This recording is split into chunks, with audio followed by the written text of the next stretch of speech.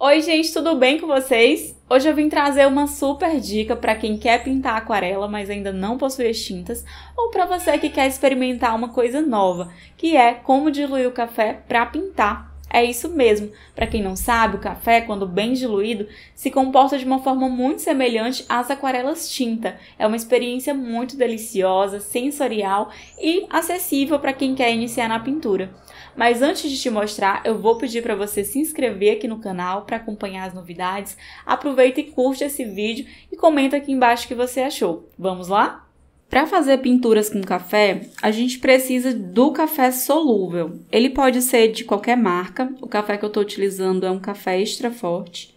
A gente precisa também de uma espátula para fazer a mistura. Também pode ser um palitinho é, ou mesmo uma colher. E de água. É, a água que eu estou utilizando, que eu vou utilizar agora, é uma água morna, mas também pode ser uma água em temperatura ambiente. Eu acho que a água morna facilita a diluição e a gente consegue fazer com que o grão do café ele se dissolva de forma mais rápida quando a água está morna. E para isso eu utilizo um conta-gotas, porque eu consigo ter uma precisão maior na quantidade de água que eu coloco nessa minha, é, nos grãos de café, nesse recipiente, que precisa ser pouca água tá? E também pode ser utilizado um borrifador ou mesmo trazer é, a água nas cerdas de, do pincel e colocar aqui é, no nosso recipiente para fazer a diluição. Então, eu vou pegar aqui algumas gotinhas dessa água morna que está aqui ao lado e vou colocar sobre os grãos de café. É pouca água mesmo, tá? Coloquei aqui algumas gotinhas é, e já posso pegar a espátula e já vim fazendo essa mistura. À medida que eu vou sentindo necessidade, eu vou colocando mais água com conta-gotas e continuo misturando. E aqui nessa etapa, por que, que eu utilizo a espátula e não um pincel? Porque o café, é, ele é muito pegajoso, olha só. Né? Os grãos eles ficam aderindo. Então, se você utilizar um pincel, é, pode ser que danifique as suas cerdas desse pincel. Quando o café está totalmente diluído, não tem esse perigo, tá? De danificar as cerdas do pincel. É somente nessa etapa em que a gente está fazendo a diluição dos grãos. E aqui é, é paciência, é mexer bem os grãos até que ele se dissolva bem e a gente consegue uma mistura numa textura que parece muito mel. É, a gente tem uma concentração bem alta mesmo de café.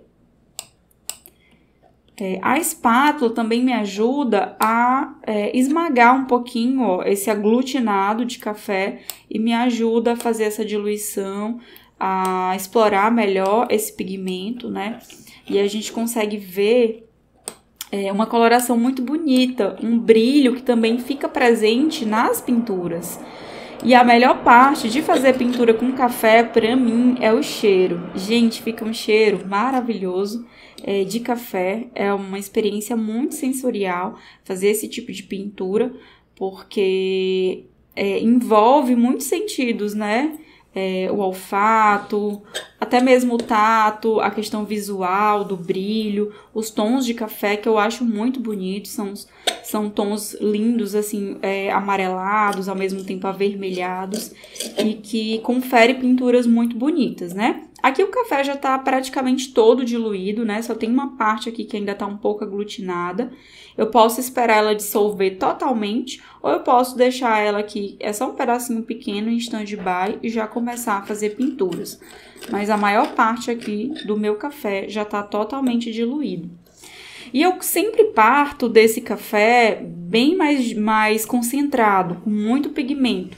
E a partir dessa mistura super pigmentada, eu vou acrescentando água e consigo chegar em outras tonalidades de café, que é o que eu vou mostrar para vocês aqui. E é muito importante é, numa pintura com café que a gente faça isso, que a gente não use um tom só, para que a gente consiga é, garantir uma variação tonal na nossa pintura, uma escala de tons. Principalmente em pinturas monocromáticas, isso é muito importante. Aqui eu já consigo obter é uma mistura que já dá para fazer as pinturas, né? O café, deixa eu mostrar aqui para vocês com o pincel a textura desse café, ó. Olha só, tá muito pigmentado, ele realmente tá parecendo um pouco mel e cuidado para não grudar aqui nas cerdas, tá? Essa parte que ainda não diluiu totalmente. Ó, mas é isso aqui. É muito bonita essa mistura e essa é a textura, esse é o ponto do café é, que a gente vai utilizar para fazer é, a nossa tonalidade mais escura. Eu vou colocar aqui no papel para que vocês consigam ter uma ideia melhor, mais precisa. Vou botar o café aqui no cantinho, para que vocês consigam ter uma ideia mais precisa dessa tonalidade bem concentrada.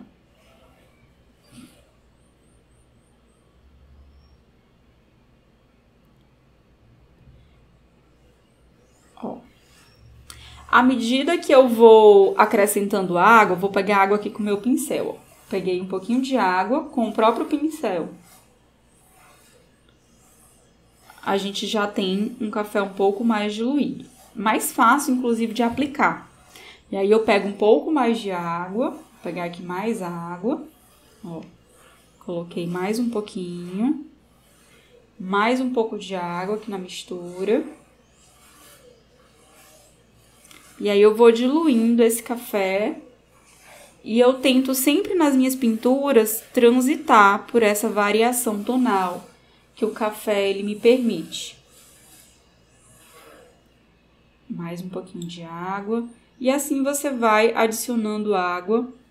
E ele vai ficando bem ralinho mesmo, como se fosse um chá.